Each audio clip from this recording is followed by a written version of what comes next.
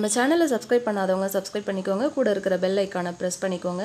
All அப்படிங்கிற நோட்டிஃபிகேஷனை click பண்ணிக்கோங்க. நான் போடுற ரெசிபிஸ் எல்லாமே நீங்கள் மிஸ் பண்ணாமல் பார்க்கலாம். ஹலோ ஃப்ரெண்ட்ஸ் வணக்கம் and welcome back to my channel இன்றைக்கி நம்மளோட சேனலில் ரொம்ப சூப்பரான ஒரு பிரேக்ஃபாஸ்ட் ரெசிபி எப்படி பண்ணுறதுன்னு பார்க்கலாம். இது வந்து பார்த்திங்க அப்படின்னா தக்காளி தோசை. ரொம்ப சூப்பராக ரொம்ப டேஸ்டியாக இருக்கும். காலையில் ரொம்ப பர்ஃபெக்டான ஒரு பிரேக்ஃபாஸ்ட் ரெசிபி இப்போ வாங்க ஃப்ரெண்ட்ஸ் இது எப்படி பண்ணலான்னு பார்க்கலாம். இதுக்கு பார்த்திங்க அப்படின்னா நான் வந்து ஒரு சின்னதாக ஒரு மிக்ஸி ஜார் எடுத்திருக்கேன். அதில் வந்து ஒரு பெரிய தக்காளி வந்து இந்த மாதிரி நான் குட்டி குட்டி பீசஸாக கட் பண்ணி எடுத்து வச்சுருக்கேன். இப்போ இதை வந்து மிக்சியில் நம்ம வந்து சேர்த்துக்கலாம். சேர்த்ததுக்கு பிறகு பார்த்திங்க அப்படின்னா காரத்துக்கு நான் இந்த மாதிரி மிளகா எடுத்திருக்கேன். உங்ககிட்ட காஷ்மீரி மிளகா இருந்தால் கூட நீங்கள் தாராளமாக எடுத்துக்கலாம். நான் அதோட விதைகள் வந்து கொஞ்சம் எடுத்துக்கிறேன். ஏன்னா இது ரொம்ப காரம் அதிகம் அப்படிங்கிறதுனால அந்த விதைகள் எல்லாத்தையும் எடுத்துட்டு இதை வந்து சின்ன சின்ன பீஸாக நான் வந்து பிச்சுட்டு தான் நான் உள்ளே வந்து சேர்க்குறேன். ஏன்னா சீக்கிரமாக அரைக்கும் அப்படிங்கிறதுனால உங்களுக்கு வேணும் அப்படின்னா நீங்கள் விதையோட கூட சேர்த்துக்கலாம். இது கூடவே வந்து பார்த்திங்க அப்படின்னா ஒரு பல் பூண்டு மட்டும் நான் சேர்த்துக்கிறேன். டேஸ்ட்டுக்காக உங்களுக்கு வேணும் அப்படின்னா நீங்கள் பூண்டு சேர்த்துக்கலாம். சேர்த்து நல்ல ஒரு ஃபைன் பேஸ்ட்டாக தண்ணி ஊற்றாமல் நீங்கள் அரைச்சி வச்சுக்கோங்க. இப்போ ஒரு மிக்சிங் பவுலில் ஒரு கப் ரவை ஒரு கப் அரிசி மாவு ஒரு கப் கோதுமை மாவு. இது மூணும் நான் வந்து சேர்த்துருக்கேன்.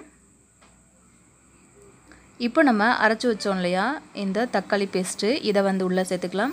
உங்களுக்கு வந்து பூண்டு பிடிக்கல உங்களுக்கு இஞ்சி ஃப்ளேவர் வந்து உங்களுக்கு பிடிச்சோம் பிடிக்கும் அப்படின்னா தாராளமாக நீங்கள் வந்து இஞ்சி ஃப்ளேவர் கூட நீங்கள் வந்து சேர்த்துக்கலாம். ஒரு துண்டு இஞ்சி.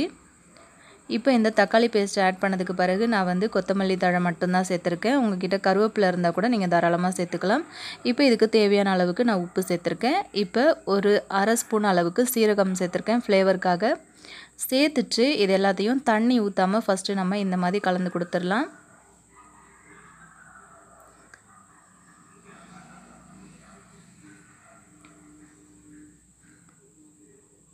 இந்த மாதிரி கலந்து கொடுத்துருங்க.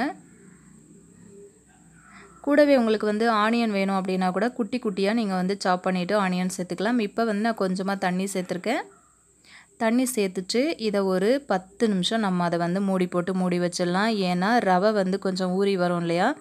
அதனால அது வந்து நல்லா அந்த தண்ணி எல்லாத்தையும் அப்சர்வ் பண்ண பிறகு நம்ம திரும்ப வந்து தண்ணி தோசைக்கு தேவையான அளவுக்கு நம்ம வந்து தண்ணி சேர்த்துக்கலாம். இதை நல்லா மிக்ஸ் பண்ணதுக்கு பிறகு இது ஒரு பத்து நிமிஷம் நம்ம இதை அப்படியே வச்சிடலாம் மூடி போட்டு மூடிட்டு. இப்போ பாருங்கள் ஃப்ரெண்ட்ஸ் கரெக்டாக வந்துருச்சு. இப்போது தேவையான அளவுக்கு தண்ணி சேர்த்து நம்ம இந்த மாதிரி கலந்து விட்டுக்கலாம். உங்களுக்கு தோசைக்கு எந்த அளவுக்கு தண்ணி வேணுமோ அந்த அளவுக்கு வந்து நீங்கள் கலந்து எடுத்துக்கோங்க. ரொம்ப தண்ணி சேர்த்துறாதீங்க ஒரு அளவான தண்ணி சேர்த்துக்கோங்க. சேர்த்துட்டு நான் வந்து இந்த மாதிரி தவா வச்சுருக்கேன்.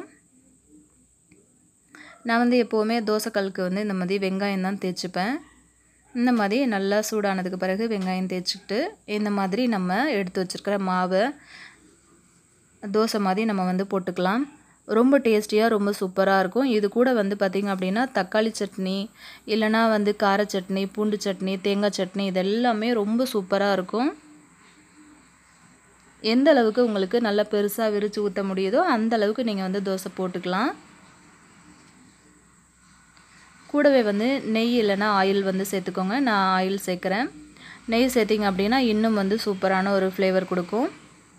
இப்போ இதை ஒரு மூடி போட்டு நம்ம மூடி வச்சிடலாம்.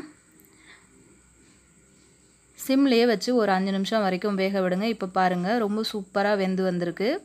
அவ்வளோதாங்க நம்மளோட தக்காளி தோசை. ரொம்ப சூப்பராக ரெடி ஆயிடுச்சு நம்ம அரிசி மாவு ரவை எல்லாம் சேர்த்துருக்கிறதுனால ரொம்ப கிறிஸ்பியாக ரொம்ப சூப்பராக இருக்கும்.